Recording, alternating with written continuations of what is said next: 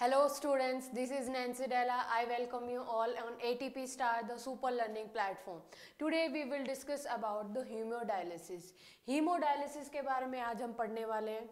आपको पता है किडनी का क्या काम है? किडनी का काम है ब्लड को फ़िल्टर करना, ठीक है? अगर किडनी फेल हो जाती है तो क्या होगा? ब्लड का फिल्ट्रेशन रुक जाएगा। है ना? अगर ब्लड का फिल्ट्रेशन नहीं होगा तो इसका मतलब the substance the nitrogen substance which are excreted by the kidney will be present in the blood जो जो नाइट्रोजन वेस्ट है, ठीक है which are excreted by the kidney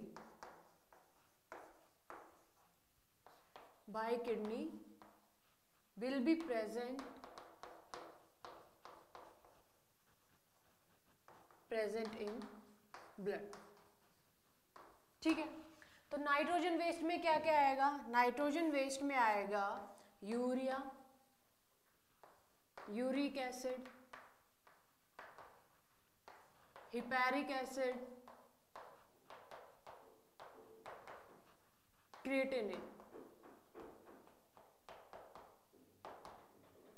तो कैसे पता चलता है कि किडनी काम नहीं कर रही? है जब ब्लड की टेस्ट होता है, जब ब्लड का टेस्ट होगा तो आपके ब्लड के अंदर क्या क्या मिलेगा? यूरिया मिल सकता है यूरिक एसिड मिलेगा हिपैरिक एसिड मिलेगा और क्रेटिनिन मिलेगा।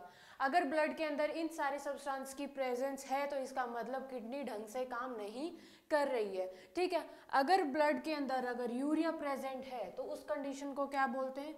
उस कंडीशन को बोलते हैं यूरीमिया। ठीक है?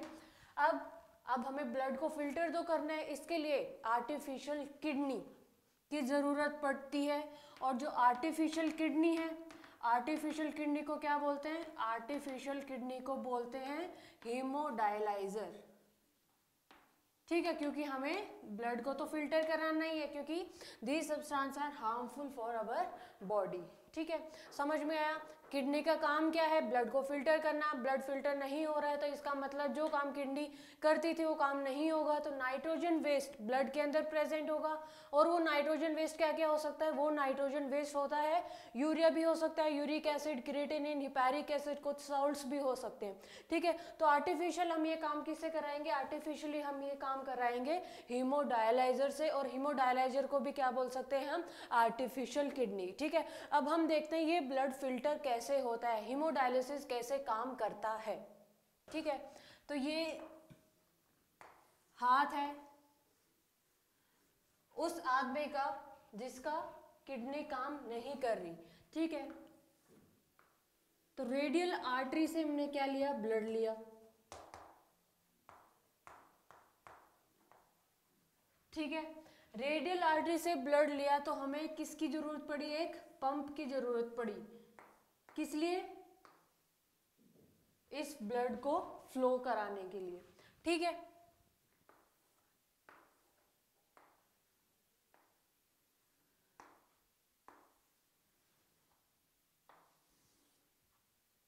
ये हमारा डायग्राम है। हम डायग्राम के थ्रू इस चीज़ को समझ लेंगे। ठीक है? रेडियल आर्टरी से हमने क्या लिया? ब्लड लिया। ब्लड को लेने के बाद हमने किससे अटैच किया? एक पंप भी हमने अटैच किया। पंप किस लिए किया? क्योंकि ब्लड को आगे फ्लो कराने के लिए। ठीक है? अब ये किससे कनेक्टेड है? ये कनेक्टेड है सेमी परमेबल मेम्ब्रेन से। ठीक है? किससे कनेक्टेड है? सेमी परमेबल मेम्ब्रेन से। ठीक है?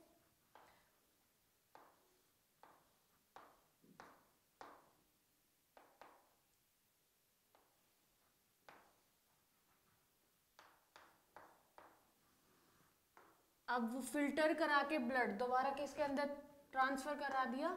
वेन के अंदर ट्रांसफ़र करा दिया। इस चैम्बर के अंदर क्या है? इस चैम्बर के अंदर है डायलाइजिंग फ्लूड ये क्या है? डायलाइजिंग फ्लूड ठीक है? अब ये क्या है? ब्लड यहाँ से ब्लड आया। ठीक है?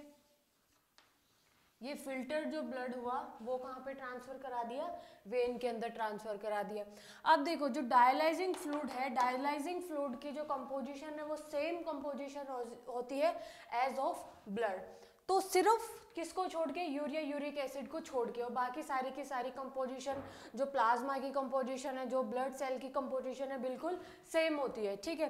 देखो, ये क्या लिया? ब्लड ठीक है? ये क्या है? ब्लड जो ये क्या है? डायलाइजिंग फ्लूड जो डायलाइजिंग जो फ्लूड है, उसको हम क्या बोलते हैं? इसका दूसरा नाम है डाइसाइलेट भी बोलते हैं। ठीक है? ये फ्रेश डायलाइजिंग फ्लूड कहाँ जा रहा है? अंदर जा रहा है। और यहाँ से जो यूज्ड जो डायलाइजिंग फ्लूड है, वो क्या हो रहा है? इकट्ठा हो रहा है। ये क्या है? यूज्ड डायलाइजिंग फ्लूड ठीक है? जो डायलाइजर है डायलाइजर का प्रिंसिपल क्या है? डायलाइजर का प्रिंसिपल है सिंपल डिफ्यूजन सिंपल डिफ्यूजन क्या होता है? सिंपल डिफ्यूजन होता है transfer of the substances from higher concentration to lower concentration जो डायलाइजिंग जो फ्लूड की जो कंपोजिशन है, वो सेम कंपोजिशन है किससे? आपका ब्लड से ठीक है? ये क्या है अंदर? अपना सेलोफोन ट्यूब के अंदर। सेलो ये कौन सी ट्यूब है? सेलोफेन ट्यूब सेलोफेन जो ट्यूब है, वो है सेमी परमेबल ठीक है? इस ब्लड इस ब्लड के अंदर क्या क्या है? नाइट्रोजन वेस्ट है ना? और यहाँ पर जो डायलाइजिंग फ्लूड है, यहाँ पर कोई नाइट्रोजन वेस्ट नहीं है। ठीक है?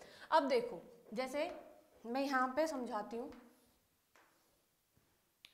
ये क्या है? बाहर की साइड डायलाइजिंग फ्लूड बाहर की साइड है डायलाइजिंग फ्लूड ठीक है?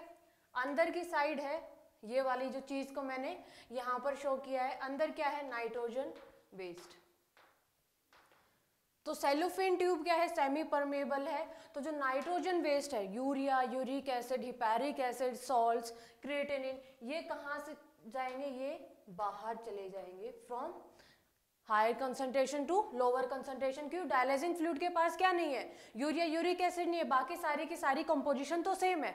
इसलिए जितनी भी जो प्रोटीन्स वगैरह है कर्पसल्स हैं आरबीसीज हैं डब्ल्यूबीसीज हैं, जितने भी जो सेल हैं, वो ट्रांसफ़र नहीं होगी। क्यों?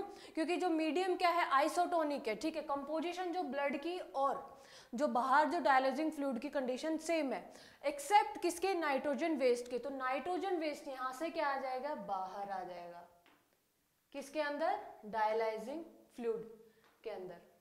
ठीक है? नाइट्रोजन वेस्ट यानी कि यूरिया हो गया यूरिक एसिड हिपैरिक एसिड और क्रिएटिनिन ठीक है? हायर कंसंट्रेशन से लोअर कंसंट्रेशन मूवमेंट होगी, लेकिन बाकी चीज़ क्यों नहीं मूव करती? क्योंकि जो कंसंट्रेशन है, बाहर डायलिजिंग फ्लूड की सेम हो जाती है as compare to inner side, ठीक है? तो आइसोटोनिक कंडीशन होगी ना आइसोटोनिक कंडीशन के अंदर तो कुछ भी मूवमेंट नहीं होती। सिर्फ़ जो आपकी जो नाइट्रोजन वेस्ट है, वो हायर कंसंट्रेशन से लोअर कंसंट्रेशन मूव करेगा, ठीक है? यहाँ से मूव करने के बाद जो यूज़ जो डायलाइजिंग जो फ्लूड है, वो कहाँ पर आता है? बाहर आता है, ठीक है? क्यों बाहर आएगा? अगर बाई चांस अगर यहाँ पर यूरिया और यूरिक एसिड की कंसंट्रेशन अगर ज़्यादा होती है तो यहाँ से अंदर जाने के भी तो चांसेस है।